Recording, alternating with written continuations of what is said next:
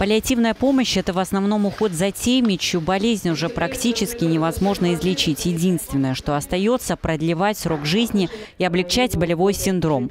В отделении паллиативной помощи в Третьей городской больному с неизлечимым прогрессирующим заболеванием подбирают или корректируют схему обезболивания, помогают избавиться от одышки, тошноты, отеков. Паллиативные пациенты, они у нас бывают разные, ситуации тоже бывают разные. И э, в основном в чемоданчике присутствуют самые необходимые препараты для оказания э, первичной помощи.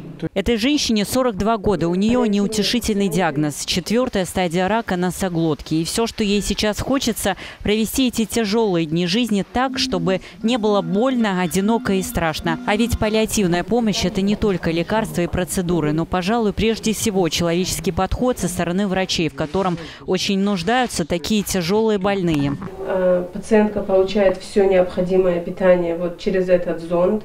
Э, его вводят в жидком виде или в полужидком виде специальным шприцом. Врачи Третьей городской больницы не только принимают в своем стационаре, но и выезжают на дом к больным. Кажется, что в их огромных чемоданчиках есть все, что нужно, и даже имеется портативный УЗИ-аппарат. С появлением паллиативных центров оказывать такую специализированную помощь стали гораздо быстрее и качественнее, к тому же с дальнейшим сопровождением больного в постоянном уходе. Если они будут э, звонить нам, мы будем приходить, оказывать им эту помощь бесплатно.